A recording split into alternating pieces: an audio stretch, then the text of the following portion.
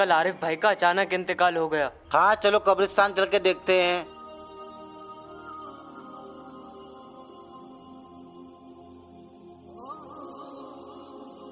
अस्सलाम वालेकुम वालेकुम अस्सलाम। कब्र मैंने तैयार कर दी है। आपका जनाजा आने में कितनी देरी है?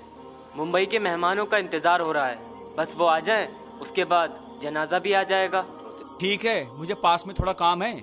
और आपके जब रिश्तेदार आ जाएँ और आपका जब जनाजा आ जाए तो मुझे इत्तला कर दे आ जाऊँगा। जी बिल्कुल। आशु भाई आज कैसे?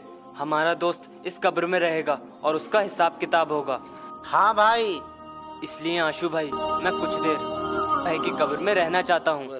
तो महसूस करना चाहता हूँ कि उसमें कैसा लगता है। अरे क्या तू पागल हो गया है? किसी ने देख लिया ना तो बहुत बड़ी गड़बड़ हो जाएगी। नहीं मैं तुझे ऐसा नहीं करने दूँगा। आशु भाई बस दस मिनट की तो बात है। उसके बाद मैं बाहर आ जाऊँगा और वैसे भी ये मेरी आखिरी शरारत होगी। ठीक है। कब्र को पूरी तरीके से बंद कर दो। पटले भी डाल दूँ और मट्टी भी। इजाज़त है।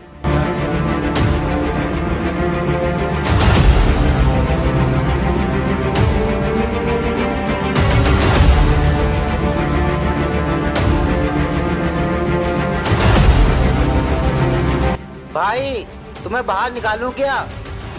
भाई, तुम्हें बाहर निकालूं क्या? भाई, तुम्हें बाहर निकालूं क्या?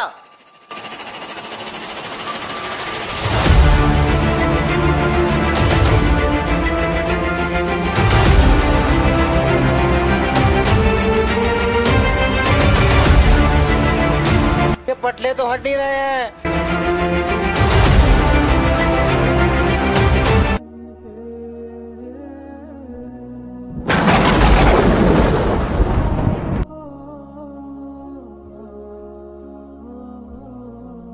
पूरे सात दिन बाद उठे हो तुम?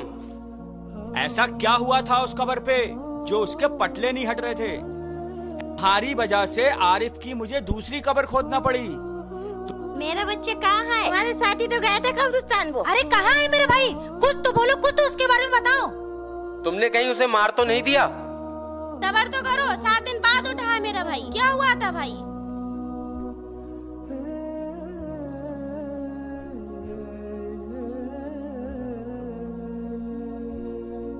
मैंने उसे बहुत समझाया था लेकिन वो मेरी बात नहीं माना और इसके साथ ऐसा हो गया।